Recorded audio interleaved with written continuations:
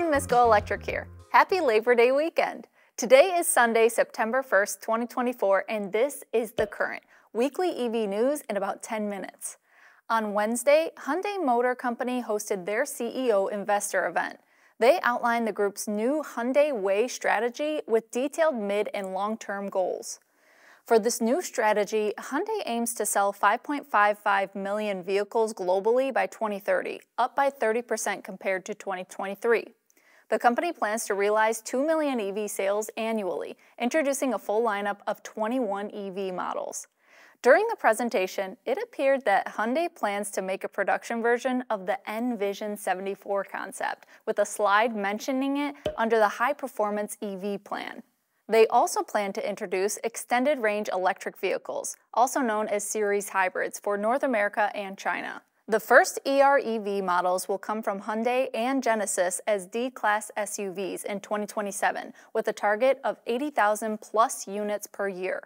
They plan to offer 690,000 hybrid units for North America by 2030, which includes launching hybrids for the Genesis brand. They said they'll introduce seven new hybrid models between now and then for a total of 14. Some will be manufactured at Hyundai Motor Group's Metaplant America in Georgia, alongside dedicated EV models like the Ioniq 5 and Ioniq 9. The Metaplant is expected to open earlier than expected this year. Hyundai says they will incorporate a battery cell to vehicle structure to improve battery integration and performance, reduce parts, and cut weight by 10% compared to current cell to pack systems. They also plan to improve battery chemistry with nickel cobalt manganese and lithium iron phosphate solutions. They said they're working on a more affordable enhanced NCM to be implemented in volume models with battery performance enhancements of at least 20% by 2030.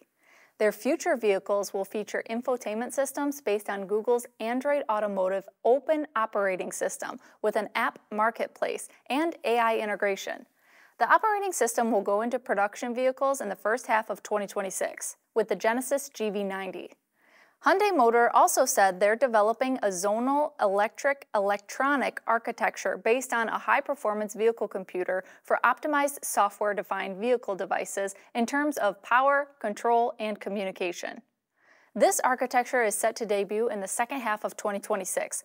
They also plan to continue to develop their hydrogen and autonomous driving programs in the coming years. Do you think Hyundai is on the right track to keep their status as one of the top EV makers in the US? Back in April, GM announced a joint venture with Samsung SDI for a new battery factory in the US. This week, the finer details have finally been released. The 275 hectare site will be located in New Carlisle, Indiana. The companies say the project will add 1,600 jobs to the area and will cost roughly $3.5 billion to complete. The plant will produce prismatic NCA battery cells for GM EVs and is now set to open in 2027 about one year behind their original schedule. The initial production goal is 27 gigawatt hours of cells per year, with expansion to 36 gigawatt hours over time. Samsung SDI has a separate relationship with Stellantis for battery production in Illinois and Indiana. The Indiana plant will be GM's fourth battery factory, following their Ultium cell facility partnerships with LG Energy Solutions, located in Michigan, Ohio, and Tennessee. GM is targeting 168 gigawatt hours of capacity when all four plants are fully scaled up. Another announcement from GM came in regards to their commercial fleet vans. GM has decided to bring the BrightDrop brand under the Chevrolet umbrella instead of keeping it as its own standalone brand. The company says this will allow them to leverage their existing Chevrolet dealer network for sales and service, as well as enhance brand growth opportunities. For the 2025 model year, the vehicles will be called the Chevrolet BrightDrop 400 and BrightDrop 600, and they'll still be built in their CAMI assembly plant in Ontario, Canada. Currently, these vans are sold to fleet customers only. Do you think that this could indicate a shift to offer a consumer version? Electra Battery Materials Corporation has been awarded a $20 million grant from the U.S. Department of Defense. This funding is directed towards the completion of Electra's $250 million cobalt sulfate refinery expansion project in Temiskaming Shores, Ontario, Canada, just north of Toronto. Previously, they received $5 million in funding from the Canadian government in June for their battery recycling program. The project aims to produce 6,500 tons of cobalt sulfate, supporting the production of over 1 million EVs annually. It is poised to become North America's first cobalt sulfate refinery. The U.S. Department of Defense appears to be willing to invest in Canadian operations in order to reduce U.S. dependence on China, which supplies over 80% of the global battery grade cobalt. Electra says the cobalt feed material will be ethically sourced from Glencore and Eurasia Resources Group mines in the Democratic Republic of Congo. South Korea's LG Energy Solutions has agreed to purchase up to 80% of capacity over the first five years. Several buyers are now competing for the remaining production. Electra also has plans to open a second cobalt refinery plant in Quebec near supporting battery facilities owned by GM, Ford, BASF, and others. There have been notable personnel changes at Geely's performance electric brand Polestar. Thomas Ingenlath has been the CEO since Polestar's inception seven years ago as its own vehicle brand. He was the head of design at Volvo for 12 years prior to taking the role and brought the brand to market with four models Polestar 1, 2, 3, and 4. This week, it was reported that Thomas requested to step down as of October 1st. Michael Lohscheller will replace Ingenlath as the CEO of Polestar. Lohscheller has recent and brief CEO experience with VinFast and Nikola. For nine years prior to that, he was the chief financial officer, board member, and finally the CEO of Stellantis' Opel brand in Europe. He spent eight years with Volkswagen as the global marketing executive and then as the chief financial officer for Volkswagen USA. Before that, he gave four years to Mitsubishi Europe as the CFO. Earlier this month, it was announced that head of design at Polestar, Max Missoni, would depart the brand. I had the opportunity to work directly with he and Thomas on the global launch of the Polestar 2. The two had built a great working relationship together during their years with Volvo, and they cooperated closely, defining the brand's aesthetic and mood.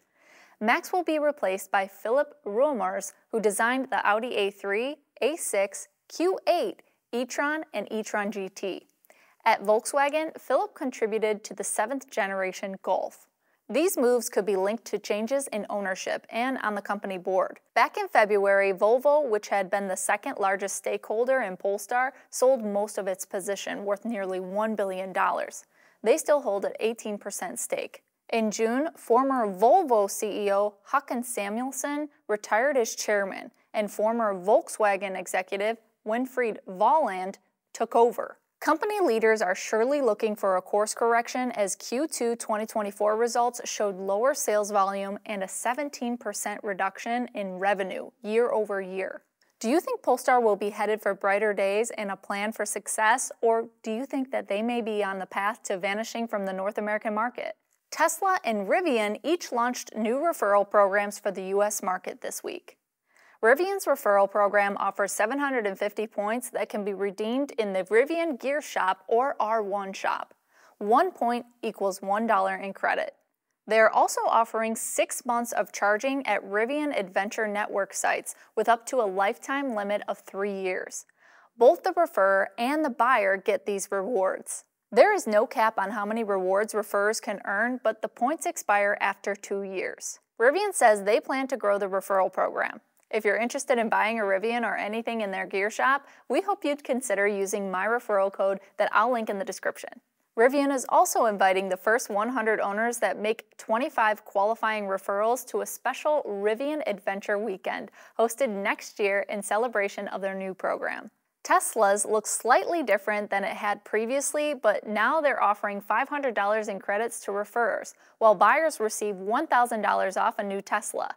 For referrers, the $500 can be used towards a new vehicle, supercharging, service payments, software upgrades, or merchandise from the Tesla shop. Notably, each referral code is only good to get $1,000 off a new Tesla for the first 10 uses, and buyer benefits are only available when purchasing your first qualifying Tesla product.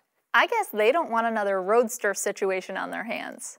Again, if you're looking to purchase a Tesla, we hope you'll use our referral code that we'll link in the description below. Do you think these referral programs will help boost EV demand? Is there a better idea which you think these companies are overlooking? If you have found value in this series, I hope you'll consider sharing a link to this episode online, subscribing to the Miss GoElectric channel, and joining us on other social media platforms. Thank you so much for watching episode number 26 of The Current. We've published every weekend for six months, and we hope you'll join us for many more. Until next time, drive, fly, ride. Go electric.